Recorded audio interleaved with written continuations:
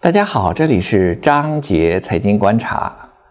呃，今天呢，我们再讲一下呢，现在国际上的这种金融博弈。因为前不久欧洲加息非常的激进，七十五个基点，对于欧洲呢，其实压力是很大的。我们可以看呢，欧洲的经济呢非常不好，这时候加大的利息啊，对于它的企业的负担呢是很重的。但是欧洲为什么要加息呢？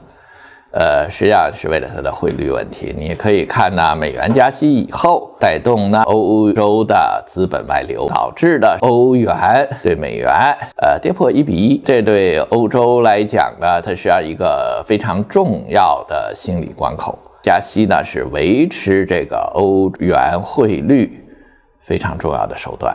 嗯，当然呢，欧洲说加息，那美国呢说的也很激进。美国会加不加息呢？像马上汇率以及呢利息的一计息会议，美联储的会议也要开。呃，我们预计呢，美联储也是大概率加息，是因为这个通胀的压力非常的巨大。欧洲的这个加息啊，它就是为了应付这种全球的资本流动。其实中国呢面临的这种资本流动的压力也很大。其实我们注意一下，中国降准了，而这次的降准呢？呃，主要针对的是什么？是外汇存款的准备金。只要你针对外汇存款的准备金，其实已经告诉你了一个事实，就是说银行的外汇流动性非常的紧张。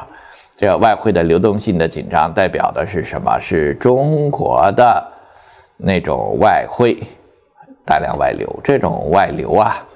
呃，其实你从我们另外一方的数据就可以看出来了，就是等于中国现在呢每个月都是巨额的外贸顺差，但是我们的外汇储备呢不增，为什么不增呢？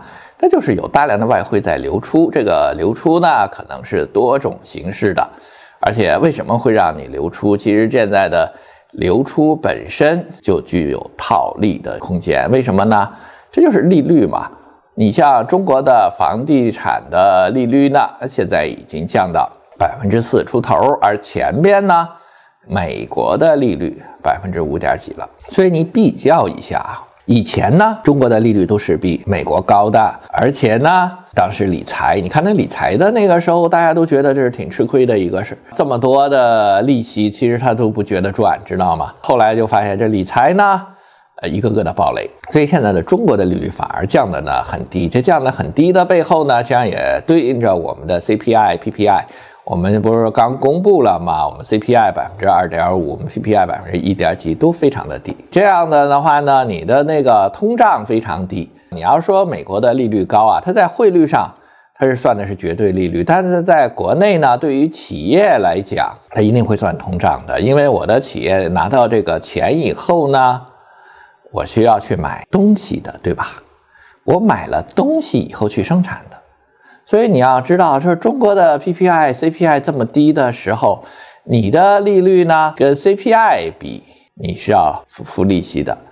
但是美国的利率，你别看它涨到了百分之五点几，它 CPI 的话百分之九点几呢，它实际上是负利率的，就是它贷到款是赚便宜的。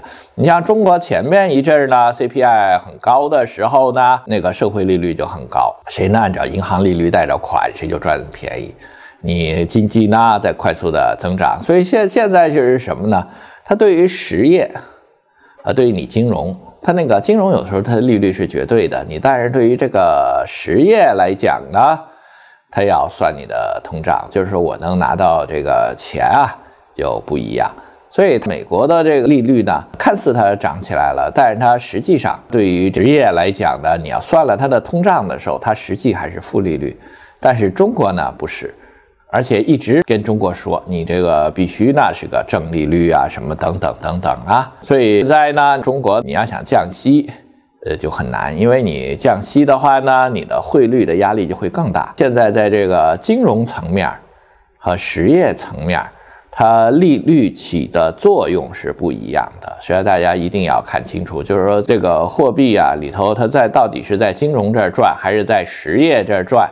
在实体赚还是在虚拟赚，呃，都是不一样的。也就是说，美国的话，它印了这么多钞，它保持这个货币的价值靠的是什么？靠的它有虚拟的市场，它的虚拟的市场里头呢，既可以吸纳货币，也可以消灭货币。其实前边的很多人呢，中国人的财富投到。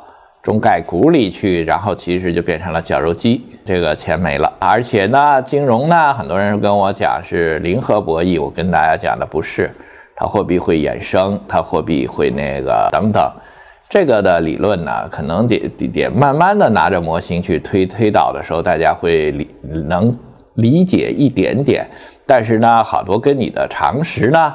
就差别的比较大，就像你看那个相对论的光速永恒一样。实际上，这个金融里头呢，怎么样子去把你的毛啊？水呢非常深，而现在呢，全球金融到了一个特殊的博弈的地方。所以就是说，中国你到底外汇管制不管制？你的货币政策独立不独立？从目前来看呢，中国第一呢想保持汇率的稳定，第二呢。我们现在呢，跟西方那个各国都加息不同，我们还想保持独立的货币政策。那么下边一步的政策其实可以想见的，按照蒙代尔不可能三角啊，其实对这个外汇的管制以及外汇的外逃，应该是采取啊比以前严厉的多的打击方式，就是个人呐怎么通过钱庄啦，怎么蚂蚁搬家啦，怎么去换汇呀，都应该有一些限制的。包括呢，你这些外汇呢，借着留学移民出去啊。其实也该有些限制，所以为什么现在好多人都拼命的移民又热了，跟这个也都有关系。把这些的外汇呀、用汇呀，其实该管起来还是要管起来的。外汇的问题可能将来呢会变得相对的严峻一点，因为这个事儿啊，呃，在外汇的冲击下，也是保护中国呢不被西方的金融霸权拔毛的一个很重要的手段。谢谢大家，本期话题呢就跟大家分享到这儿，再见。